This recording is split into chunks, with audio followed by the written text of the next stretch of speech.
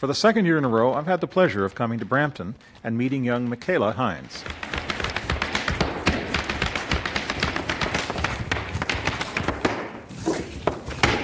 Michaela is a 16 year old and third world championship Irish dancer. We were in Dublin, in Ireland, for this dance competition, and there were over 6,000 entries and 200 in my dance competition. She first was the youngest female Canadian to win the Worlds.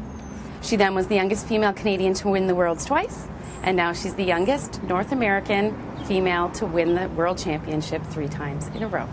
Winning such a championship takes more than just determination, it takes a great deal of practice. And she practices very hard, more than five times a week. But this year, there was an extra special issue involved. She hurt herself just before going overseas. The doctor told me that I had hurt my ankle very bad. It ended up being a stress, stress fracture. I ended up going to physio a couple times before I left, but I had to come back to dancing, so I was prepared for this World Championships.